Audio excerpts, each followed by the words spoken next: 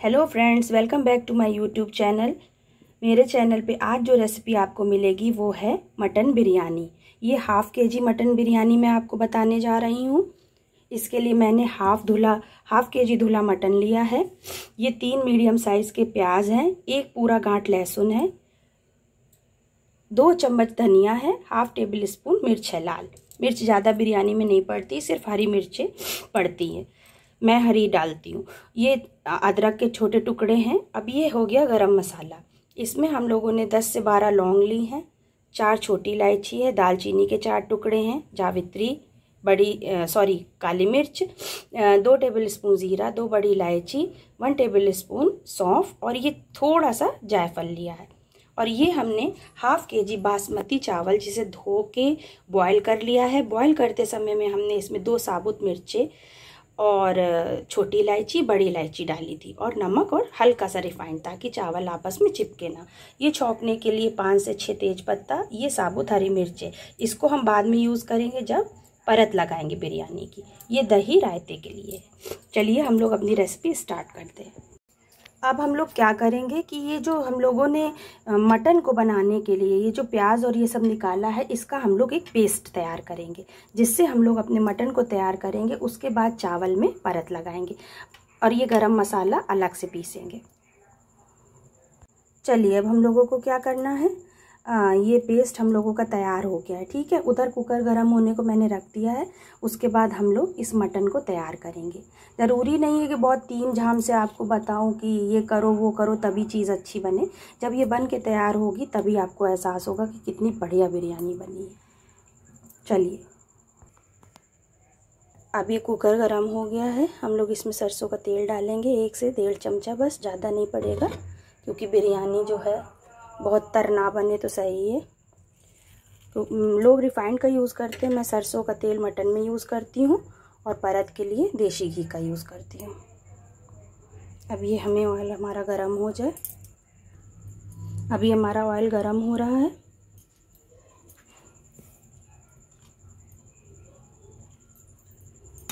ये मसाला इधर पास में रख लूँ और मटन रख लूँ।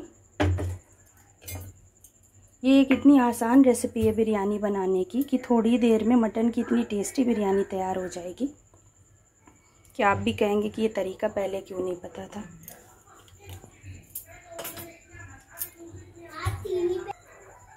चलिए सरसों का तेल गरम हो गया है। अब हम इसमें तेज पत्ता ऐड कर रहे हैं।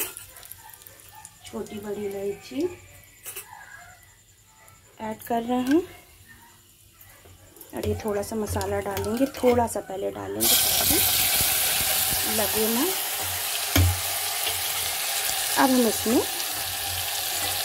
मटन छोड़ देंगे।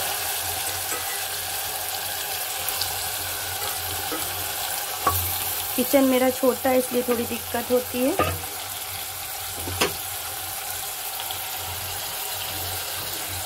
सारा मसाला डालेंगे। ये देखिए, सारा मसाला डाल दिया है। इसमें हम पानी नहीं डालेंगे, बस मिक्सी का जार धोते समय जो भी थोड़ा सा मसाला उसमें लगा था, बस वही पानी इसमें रहेगा। और बस अब हम इसमें नमक डालेंगे और प्रेशर लगा देंगे मटन को गलाने के लिए। एक से डेढ़ चम्मच नमक, ज़्यादा नहीं, क्योंकि कम होगा तो चल जाएगा, ज़्यादा होगा तो दिक्कत हो जाएगी। ये मटन हमारा बन रहा है। दो से तीन सीटी लगाएँगे। बीच बीच में कुकर को इस तरह से चलाते रहेंगे। उसके बाद हम लोग अपना परत लगाएँगे। चावल देखिए कितना सुंदर खिला खिला हुआ है। इसको लगाने के लिए हम लोग देसी घी का यूज़ करेंगे। अभी ये हरी मिर्चें तब तक चलिए चॉप कर लेते हैं। छोटे छोटे महीन महीन हरी मिर्चों की एक अलग ही खुशबू होती है। ये देखिए, हरी मिर्चों को छोटा छोटा काट लिया है। आप चाहे तो इससे महीन भी कतर सकते हैं। बच्चे नहीं खा सकते, इसलिए मैंने थोड़ा मोटा काटा है। और ये कलर है, फ़ूड कलर, जिसका यूज़ हम हल्का सा चावल पे करेंगे बाद में।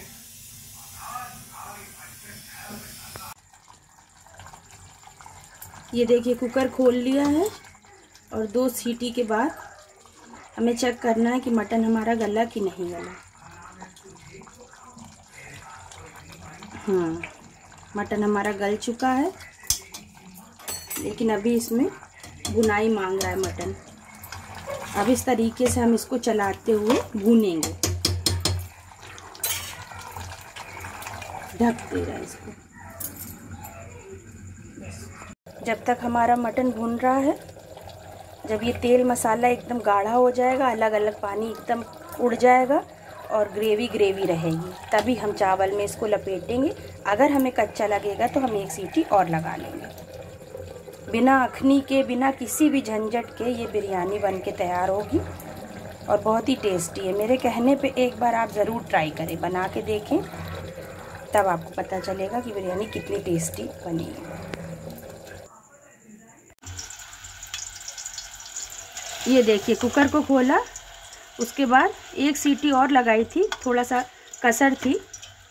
और ये थोड़ा सा अपने फैमिली के लिए भुनते पे निकाला है, सबको पसंद है।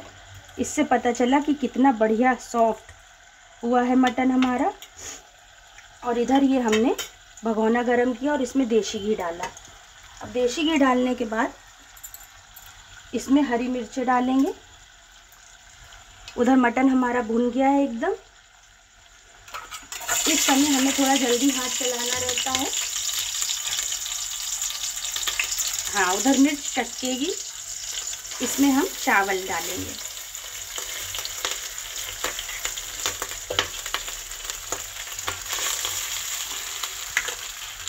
आधा चावल डाल देंगे। आधा चावल रोक लेंगे। इसके ऊपर हम लोग परत लगाएँगे अपने मटन की। अलग अलग पीसेस डालेंगे और साथ में ग्रेवी अब फिर हम लोग इसके ऊपर चावल डालेंगे। बहुत चावल भी नहीं करेंगे क्वांटिटी के बराबर चावल होता है। अगर हाफ़ के जी मटन है तो हाफ़ के जी चावल। अगर बचे ज़्यादा तो आप रख दें। अब इसके ऊपर फिर हम मटन लगाएँगे।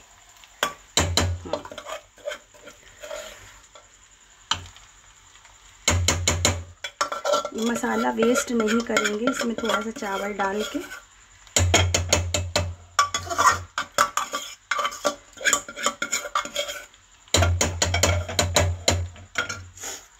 अब ये हल्का सा चावल इसमें डालेंगे। और फिर बिरयानी को दम पे ढक देंगे।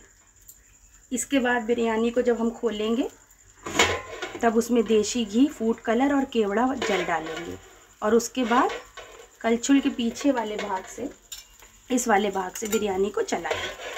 थोड़ी देर बाद देखते हैं बिरयानी कैसी होती है। ये देखिए, इसके बाद हम इसमें देसी घी डालेंगे। ऊपर से। और ये थोड़ा सा फ़ूड कलर हल्का सा डालेंगे, ताकि ये नहीं कि पूरी बिरयानी ही लाल हो जाए। केवड़ा जल डाला, उसके बाद हम इसे ढक देंगे। अब ये दम पे थोड़ी देर ढकी रहेगी, उसके बाद इसको हम लोग नीचे से ऊपर की ओर चलाएँगे। का कलर इसकी खूबसूरती। अब हम लोग ये इस तरीके से चलाएँगे। इस तरीके से। ताकि चावल ना टूटे, ना पीस टूटे। ये देखिए। बस ज़्यादा नहीं चलानी है। दम पे होने से वो खुद ही टेस्ट अपना ले ले। ये देखिए कितनी सुंदर बिरयानी बन के तैयार हुई। इसको आप ज़रूर ट्राई करें। मेरे चैनल को लाइक शेयर सब्सक्राइब ज़रूर करें। ताकि बढ़िया बढ़िया रेसिपी मिलती रहे। Thank you for watching